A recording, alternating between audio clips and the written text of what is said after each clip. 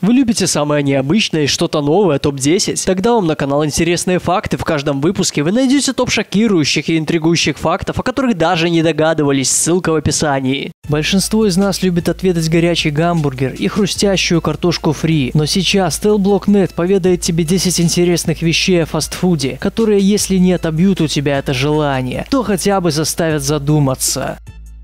Пионером фастфуда была компания «Белый замок», первая закусочная, которая открылась в 1921 году в Канзасе. Фирменным блюдом «Белого замка» были гамбургеры, которые в то время для американцев были диковинкой. Потенциальных покупателей радовала и стабильная цена на еду. Несмотря на Великую депрессию, Вторую мировую войну и инфляцию, компания до 1946 года продавала свои гамбургеры по 5 центов.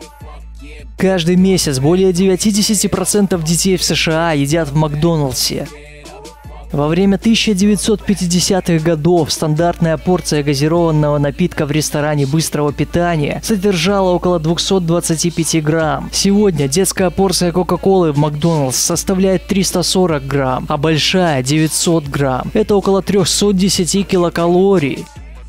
Наиболее часто употребляемый овощ в Америке – это картофель фри.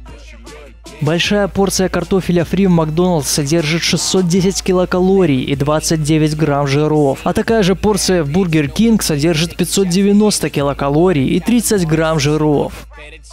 Производители фастфуда получают более высокую прибыль от продажи газированных напитков, чем от пищевых продуктов. В 1997 году американцы потратили более 54 миллионов на газированные напитки. Мальчики в возрасте от 12 до 19 лет выпивают в среднем 868 банок газировки в год. В США ожирение – вторая после курения причина смертности. Самый дорогой бургер стоит 120 долларов и продается только в нью-йоркском Бистро Модерне в ресторане Даниэля Булуда Брасселе в Лас-Вегасе и только в сезон черных трюфелей. Кроме трюфелей, в состав начинки бургера входит кусок говяжьей вырезки, маринованной в красном вине, различные овощи и сыр пармезан. Самая дорогая пицца стоит 1000 долларов. Ее начинка состоит из четырех разных сортов икры, тонких кусочков хвостов лобстеров и сметаны с зеленым луком.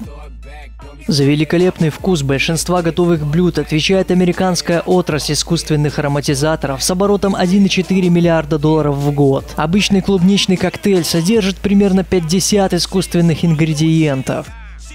Сегодня в США пищевая отрасль тратит более 33 миллиардов долларов в год на рекламу продуктов, которые наиболее перегружены жиром, солью и сахаром. До запрета в 2009 году большинство рекламы еды в канадских детских телевизионных программах было посвящено фастфуду, газированным напиткам, конфетам и хлопьям с сахаром.